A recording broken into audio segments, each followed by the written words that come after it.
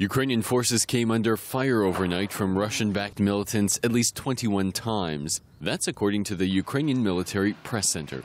Government forces in eastern Ukraine were reportedly attacked with automatic grenade launchers, sniper rifle fire, and small arms in the Donetsk region, currently overrun by militants backed by Moscow.